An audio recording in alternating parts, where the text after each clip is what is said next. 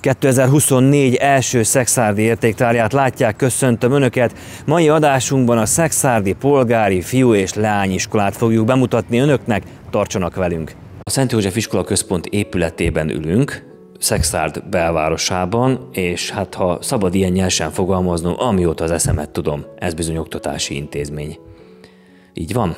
Ez így igaz. Szexárdváros 1875-ben határozta el egy polgári fiúiskola állami segítséggel történő létrehozását. Stany Jakab tervei szerint Wittinger Sándor tolnai építész kivitelezésében 1878-ban készült el kora eklektikus stílusban. A főbejáratát faragott orosz, oroszlánfejek díszítik. Első igazgatója Krammel János volt, 1891 és 1910 között ebben az épületben működött a polgári lányiskola is, amely 1910-ben költözött az újonnan épült Széchenyi utcai épületbe, 1958-tól vegyes fiú-leányiskola, általános iskola működött ezen a, ebben az épületben, majd a Garai János Énekzenei Általános Iskola kapott benne helyet. Itt ismerkedett a tudományokkal Hegedűs Gyula színész, Szakály Ferenc történész és Levente Péter színész is. Előttünk még ide járt a múlt században dr. Leopold Lajos és Dieles Valéria is polgáristaként. Ez az épület ez gyakorlatilag mindig oktatási intézményként funkcionált? Nem is voltak szünetek? Igen, tudtom szerint mindig, de mielőtt mi 2008-ban ide költöztünk volna, mint katolikus iskola, akkor ez az épület hosszabb ideje már üresen állt. Mert a, a Garai általános iskola elköltözött innen. Jelenleg ugye ők a, az Rényi utcában vannak. Mi jellemzi most a, az oktatási intézményt? Hogyan néz ki most az oktatási intézmény? Mekkora? Azért, azért kérdezem, hogy mekkora, nem csak a létszám miatt, hiszen itt van Szexárd belvárosában, szóval így ki, külsőre nem tűnik nagynak, de lehet, hogy ez mondjuk csalós. Jelenleg az épületben nyolc osztályunk működik, tehát nyolc olyan tantermünk van, ahol a tanulóinkat elhelyeztük. Az emeleten a felső tagozatosok, az alsó tagozatosok pedig az alsó folyosón vannak. Az épület maga valóban nagy, de a kihasználtság tekintetében én úgy gondolom, hogy a tantermeink azok 20-25 fő befogadására alkalmasak.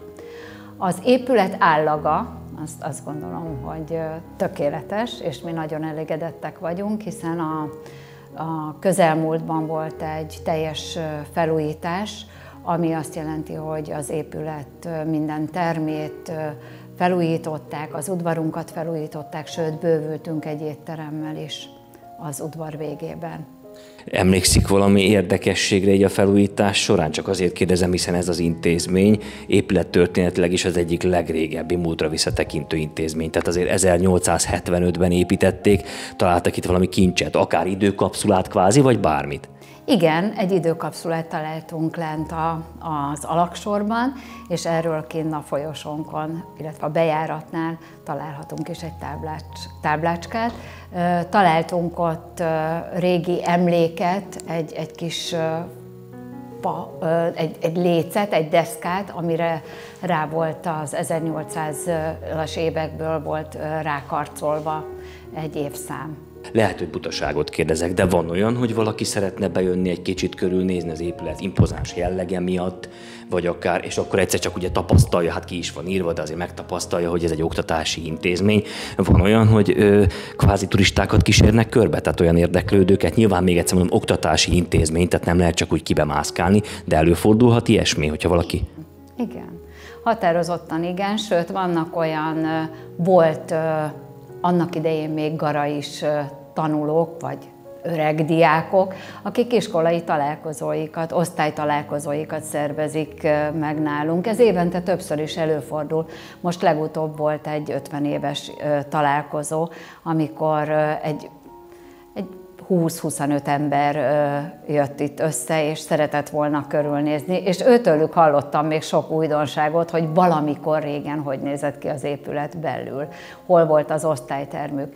Ezen kívül annak idején, mikor a felújítás befejeződött, akkor mi megkérdettük azt is, hogy szeretettel várunk mindenkit, és egy ilyen idegenvezetéssel be is mutattuk az épületünket többször előfordul, hogy, hogy bejönnek, hogy csak körülnézhet, körülnézzenek, valamiféle régi emlékek kapcsán kötődnek még az épülethez. Milyen típusú belső átalakításokra került sor? Ugye a külső az, az, az, az, az maradt, meg hát ugye műemlékvédelmi épület is gondolom, de belül milyen átalakításokra került sor?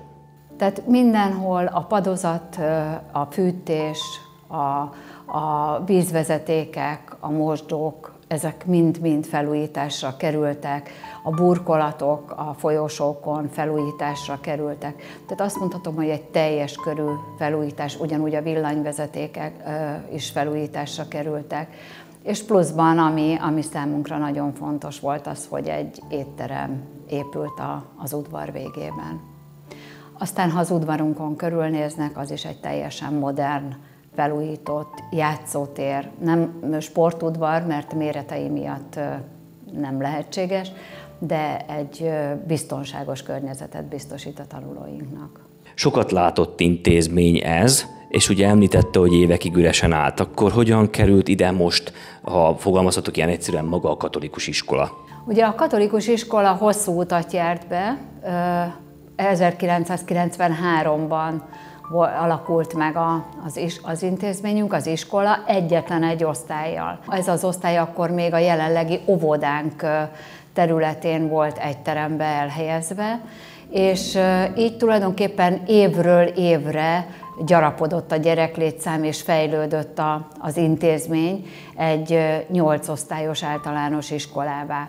A Kezdetekben ugye az akkori Kecskés Ferenc utcában volt a, az első osztály, aztán átkerültünk a mindenki által talán jól ismert úttörőházba. Ott működött hosszabb ideig az intézmény.